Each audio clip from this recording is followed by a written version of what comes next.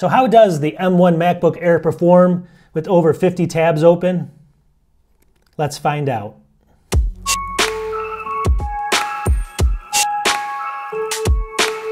Welcome back to the channel. We have a fun one today. So I get asked this all the time. Does the base model M1 MacBook Air still work in 2024? Should I buy one? I get asked this all the time. So I have one right here. It's the base model. It's the M1 MacBook Air. And what we're going to do is we're going to do a fun test today. So we're going to go ahead and open up some a bunch of tabs to begin with, but we're going to work our way up to about 50 different tabs in Safari. I'm going to open them up. Some of the biggest websites out there like ESPN and all that kind of stuff. And then we're going to see how the performance is of the computer at when we have 50 tabs open. So also I'm going to be showing you my activity monitor, showing you some of the swap it's using early on, and then when we get up to 50 tabs, how much swap it's using. I'm guessing it's going to be a ton. Um, but we're going to see if you can still use the computer at that point and if it's still usable. And this should answer the question. This should answer the question if you're a normal user and you just need email and you got to open up tabs and you want to watch YouTube and stuff like that. Will this work? I mean, 50 is kind of an extreme number. I don't think a lot of people are opening 50 at once. I know people do, but I think it's less, you know, less common than you think. Overall, though, this is just a quick test. We're going to find out how this thing performs when we get all these tabs open. I think it'll be a fun test, and it should answer some questions. How good this thing is. It's pretty good.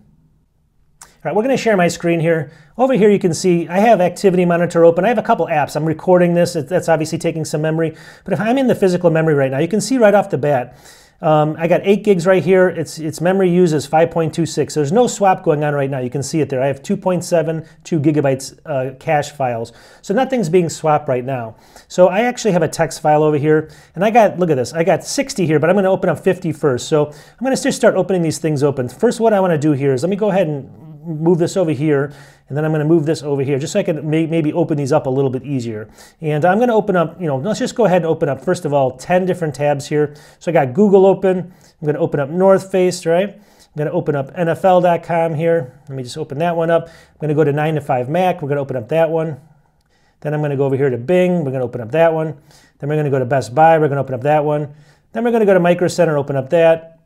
Amazon, Yahoo, and Facebook. So we got 10 tabs open right now. You can see all these up here. They're all open. 1, 2, 3, 4, 5, 6, 7, 8, 9, 10. So let's go back over here. So now down here, let's take a look what we have going on. We still got 8, 8 gigabytes of physical memory right here. You can see it. Memory use 5.94, so still no swap there. So even with all these tabs open, Again, 10 of them. We have zero swap right now. So that's pretty, you know, obviously other apps are going to work fine right now. So let's keep moving forward. All right, so if you look back over here now, I have 20 open right now. So there's 20 tabs open over here, all different you know websites. We got LinkedIn, Netflix, more common sites, Walmart, different sites like that. So overall, these are pretty robust, robust sites. I can't say that right. Anyways, let's go ahead and look at the swap here. Still, we're up to about 6.33 gigabytes of memory used. You can see it right there. Out of the eight, still zero swaps with those 20 tabs open. Let's keep going higher. All right, we got 30 different tabs open right now, and then we're going to start some applications in a second, but let's take a look at this. We still haven't even reached the limit yet. You can see our physical memory right here, if I'm in Activity Monitor down here, with all of these tabs open, 30 of them, mind you, 30 of them, we are only using 6.62 gigabytes of, of, of uh, memory used right now, and the swap is still zero, which is actually pretty shocking to me. This is, this is pretty surprising, actually. I usually think, you know, usually the swap's starting to get used about this time, so let's keep pushing it. All right, this is interesting. So now we have 40 different tabs open. And let me go ahead and show you over here. Here, here they are over here. Um, let me go ahead and show you on my screen here. You can see I opened up all these up here. So these 40 up here, I just opened up Twitter, Brave.com, Priceline, Hotels, Delta, Airbnb. So all those are open over here, 40 different tabs. Now let's go ahead and look over here now. So what do we have? It looks like the swap is finally starting to get used after 40 tabs open. You can see down here, swap is 655 megabytes right now. We're using memory use 7.12 gigabytes, but still, I mean, it's just starting to get used at 40 of these tabs open right now. And, uh, you know, that's not too bad if you think about it, right? 40 tabs completely open, and we're just now getting into swap. And these, again, I'm not going to like, you know, sub sites. I'm going to the main home pages of these sites. And these are all robust main kind of channel sites that use a lot of RAM, you would think. Unfortunately or fortunately, it's doing really good, I guess, but it's still, unfortunately, using a little bit of swap now. So let's go to 50 now. All right, we did it. Now we're at 50 total tabs open, all different websites. Not the same, none of them are the same sites. And if we look over here, 8 gigs of total physical memory, that's all I have. Right now it's only 877.4 megabytes of swap being used, so just under a gigabyte of swap. You can see not much has changed here, which is pretty crazy. I'm thinking, I'm not sure why it's doing this. I mean, it's really holding its own better than I thought. So, but is this usable? So now that we have 50 tabs open, let's go ahead and just uh, minimize some of the stuff in here, right? Just like this. We'll leave that open for now. So let's just say I wanted to go in here and do a document. So I just clicked on pages. Now what's going to happen, you're going to notice off the bat, when it doesn't have a lot of RAM, you can see it takes a little bit longer to open up the application, right? So I'm going to click on this, but overall I'm just going to click new document. All right, you can see that I'm in pages right now.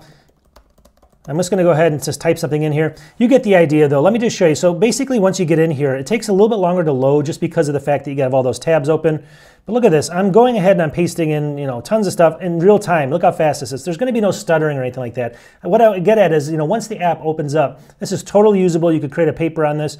You could do whatever you want to do in here and it's not going to cause any problems. Everything's very responsive. Let's check our, let's go down here and we're going to check our swap memory now, see what we do with the activity monitor. Now that we have that open, it still hasn't changed that much. In fact, some of the memory's actually gone down. So we can see that we're still using about 800, somewhere roughly in there, megabytes of swap, even with this app open. So let's keep pushing it a little bit further. Let's go ahead and open up the App Store. We're going to go in here and I'm just going to go ahead and minimize that, just have that open there for a second. All right, so here it is. It went up to about 920 right now, but we're still doing okay. So let's go ahead and push this a little bit further. I'm going to go ahead now and open up 60 tabs. All right, so we're finally kind of getting in where we're starting to push the limit of it at 60. So if you look over here, I'm at 60 tabs open, all individual websites.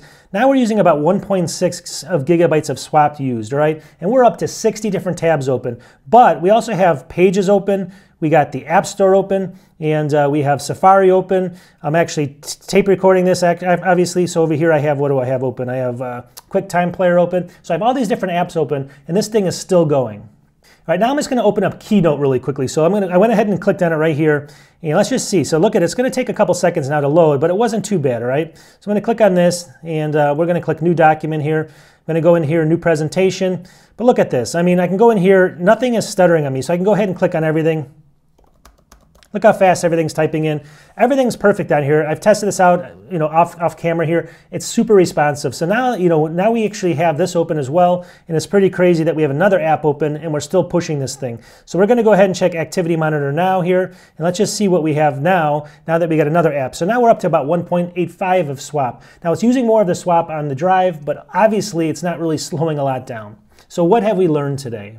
Well, the moral of the story is if you're not doing like really high end stuff like video editing, this thing, 60 tabs open, five or six different applications at once. There's really no slowdown at all, all right? We're not really reaching the limits with 60 different tabs, and they're not even the same website. They're all different sites. So that's pretty incredible just on its own, right? Overall, though, you're not going to run into too many slowdowns. Things take a little bit longer to load and stuff like that. You are using about two uh, 1.8 gigabytes of swap, which is going to uh, eventually deteriorate your hard drive maybe a little bit more than you want it to, but still, it's a great system. Unless you're doing really high-end 4, 6, 8K video editing, this thing can still handle it. Even with 8 gigs, it's just going to take a long time, or you're going to get stuttering sometimes. But overall, you want to get a faster system for that kind of stuff, or if you're doing professional work. But you can see that for most people right now on 2024, this thing can handle at least 60 tabs, five or six applications, no slowdown, and we're using about, you know, less than two gigabytes of swap memory. And like I said, you can debate if that's going to eventually cause some issues to the hard drive. I think it's going to take an ultra long time on these hard drives if that's the case. Overall, though, 16 gigs is my preference. Like I said before, I've said it in the other videos. But can it do it? I think I proved it yes. And uh, at the end of the day, you tell me in the comments. You, you know, obviously I could keep going. Maybe I'll do some more tests in the future on this. But I think this proves one thing. They're still pretty viable for 750 bucks, and the M1 chip is still pretty powerful. We'll talk to everybody soon. I hope you guys like these videos. Peace.